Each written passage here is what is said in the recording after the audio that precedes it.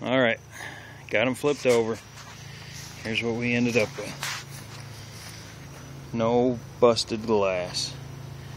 I can't believe that, especially this one, because these were on top. They were couldn't even reach the top, but there's uh, they survived.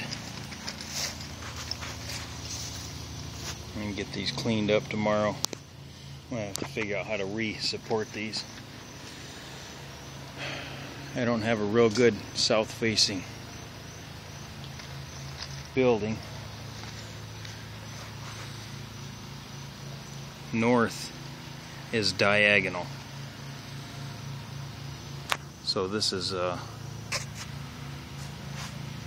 this roof slope is too uh, too steep or too flat first off and uh, it faces uh, southwest. That might be my best option. And I got this tree here too.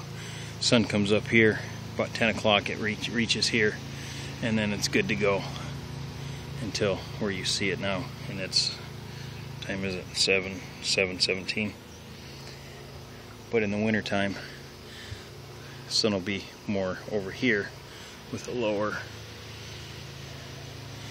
I think I'm gonna have to just do it up on top of this this shed. I'll just make this the, the pitch more I guess. I don't know guys. I'm just thankful that I don't have a thousand dollars down the tubes. Yes you heard me right. I didn't spend full price on these panels so. But anyway, I'm glad uh, I'm glad I don't have these uh, these all busted up. Uh, I only permanently lost four of these Harbor Freight ones. Although they are busted and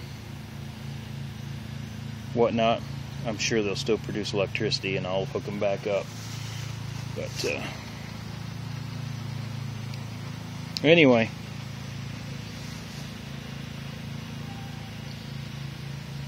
There it is. What a mess. Goes to show you, you don't want to mount them like I did. Live and learn. Mount them permanent on a good structure. You know, I could mount them on this on this roof, but uh,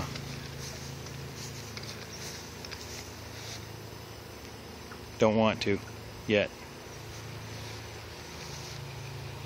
All right. See ya.